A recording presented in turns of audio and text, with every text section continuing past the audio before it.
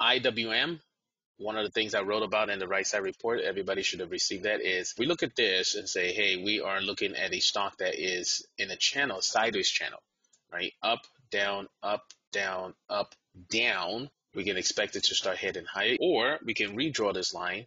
So if we do it that way too as well, it's up, down, up, down, up, down. Where do I expect things to go? Back up again.